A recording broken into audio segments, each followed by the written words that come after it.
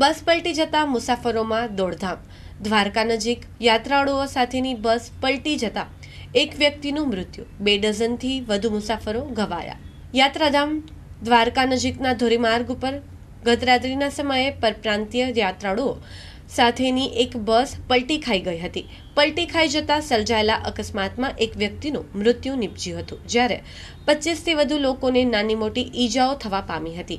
આ કરુણ બનાવની જાણવા મળતી વિગત મુજબ છત્તીસગઢથી યાત્રાળુઓને લઈને આવેલી એક ખાનગી બસમાં દ્વારકાથી દર્શન કરીને યાત્રાળુઓ સોમનાથ તરફ જઈ રહ્યા હતા. ત્યારે દ્વારકાથી પોરબંદર તરફ જતા માર્ગ પર આવેલા નાવદ્રા ગામના પાટિયા પાસેથી રાત્રિના સમયે એકાદ વાગ્યાના અરસામાં આ ખાનગી બસ કોઈ કારણોસર પલટી જવા પામી હતી.